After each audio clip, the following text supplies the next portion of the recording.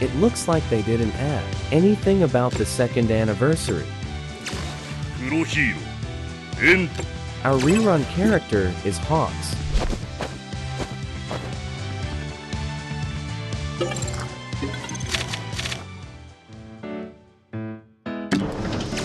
For PvP, Hawks is insane, one of the best, close combat characters, and even distance. He is not that bad in PvE, he can pull good numbers.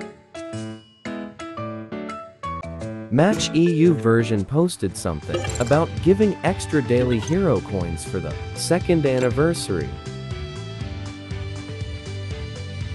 But it is still the same for Na as of right now.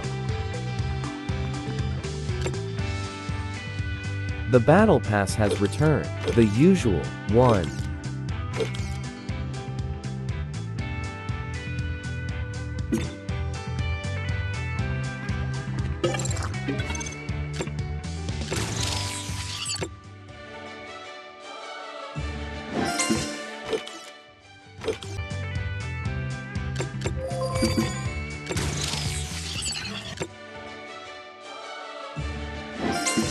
And I think that's it for now.